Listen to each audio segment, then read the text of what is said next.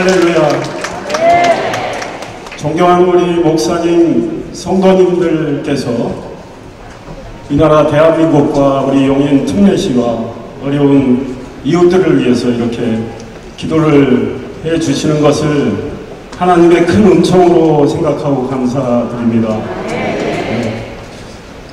기도 대성회를 준비해 주신 용기총 권준홍 목사님을 비롯한 모든 목사님들께 오늘 기도와 말씀으로 큰 감화를 주신 목사님들께 이 자리에 함께 해주신 성도님들께 또 찬양과 주차 안내로 봉사를 해주신 성도님들께 고개 숙여 감사 인사드립니다.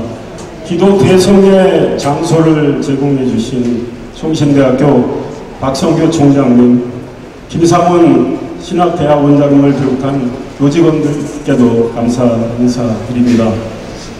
프랑스의 대문호 빅토르 위고는 사랑이 지나친 법이 없듯 기도도 지나친 법이 없다 이런 말씀을 했다고 합니다.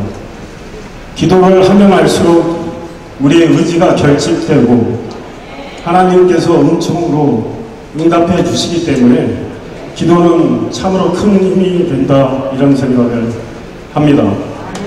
오늘 기도 대성회를 통해서 기도해 주신 이 말씀이 우리나라와 용인과 우리 용인 특례 시민과 어려운 이웃들에게 큰 힘이 되리라고 생각을 합니다. 시장인 저도 오늘 기도의 말씀 잘 새기면서 시민들을 위해서 우리 용인 특례시 발전을 위해서 더욱더 성실하게 정직하게 일을 하겠습니다. 우리 용인 특례시는 이제 반도체 글로벌 경쟁력을 가진 도시로 도약하게 될 겁니다. 삼성전자가 300조 원을 투자하는 첨단 시스템 반도체 국가 산업단지 후보지가 우리 용인 특례시에 들어서게 됐고 지난 7월에는 삼성전자 단지를 비롯해서 SK 하이닉스 단지, 삼성전자 기업 캠퍼스 세 곳이 반도체 특화 단지로 지정이 됐습니다. 이제 내 번영도도 잘 가게 돼 있다고 생각을 합니다. 저는 우리 시민들의 삶을 더 윤택하기 위해서 생활 인프라를 더욱더 확충을 해 나가겠습니다. 여러분들께서 잘 아시는 데니스 전이건이라는 기독교 음악가가 계십니다. 그분은 다섯 살 때 화장실에서 어떤 남성으로, 성인 남성으로부터 성추행을 당했습니다. 그 이후에 본인의 성적 정향이 잘못되어서 동성애자 역할에 어, 늪에 빠졌습니다.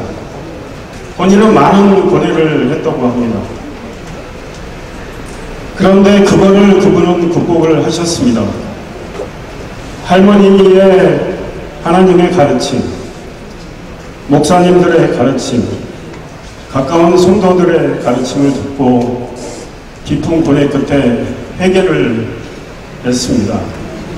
찬송가 약할 때 강함 대신에 작곡가이기도 합니다.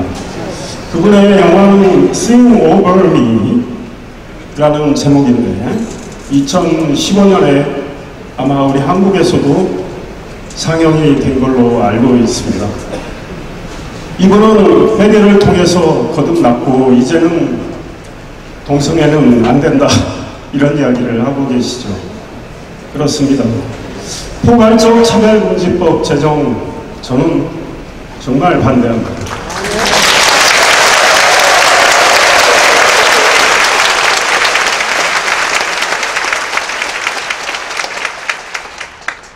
오늘 기도 대성회를 통해서 이 기도의 마음이 모아지면 아마 걱정하시는 일은 생기지 않으리라고 생각을 합니다. 함께 더 힘을 모으며 네 하나님 뜻대로 우리 영일에서 대한민국에서 그대로 잘 돌아가리라고 생각을 합니다. 여러분들께서 힘을 모아주시면 그 일이 실현되리라고 생각을 합니다. 시장으로서 미약한 힘이지만 최선을 다하겠습니다.